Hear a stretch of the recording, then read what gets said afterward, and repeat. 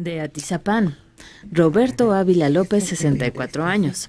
Primero, el periodista busca la noticia sensacionalista que Claro. levanta el furor.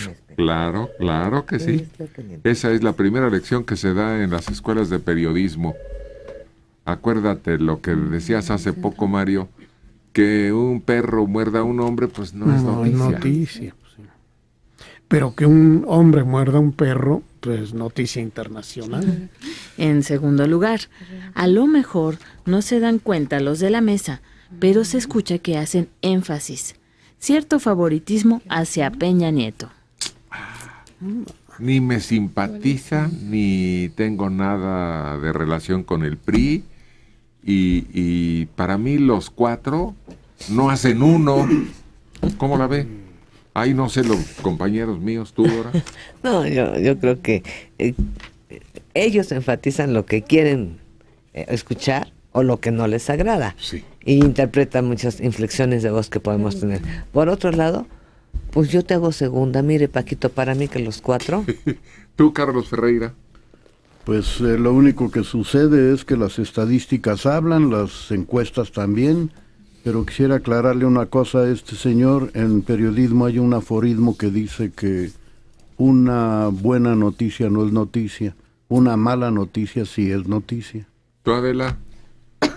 Yo creo que nosotros hemos tratado de ser totalmente imparciales, que juzgamos las notas como tales, como noticias, como información, y si usted lo toma en ese sentido, es porque es de los fanáticos de una María. creencia u otra. No estaba oyendo, perdón. Ah, estaba pendiente de su chamba.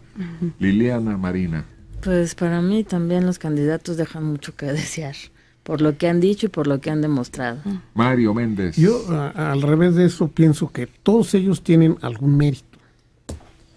Todos, eh, Peña Nieto pues, representa un, una- un dinamismo en, eh, la gobernación de, un, de una zona que hace mucho que no se veía en Bueno, este país, por eso levanta tal expectativa. Todo lo que le han sacado no ha reducido un ápice su eh, el favor de la, del electorado. pues oye lo que dicen de ti. Jessica Hernández López, de la Colonia del Valle, 40 años.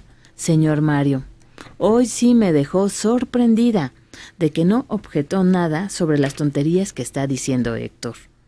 O es un cara dura o está muy necesitado de la chuleta. Es capaz de no defender sus ideas con tal de defender su trabajo.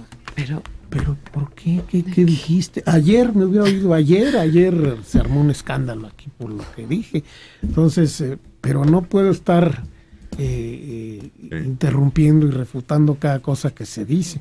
No, yo estaba enumerando los méritos que tienen los candidatos, porque en Ajá. efecto no se hace uh, un buen, gran candidato así que arrastre eh, a un país, pues no lo hay no. pero cada uno tiene un cierto mérito, ¿no? El López Obrador propone un cambio radical en la forma que se lleva la economía del país, eh, desechar el neoliberalismo.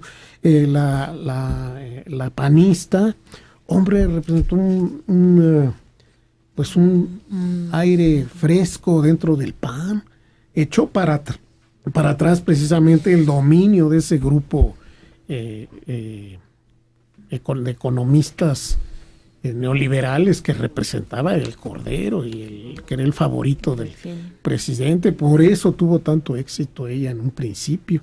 Entonces todos tienen algún, algún mérito, incluyendo Cuadri como académico.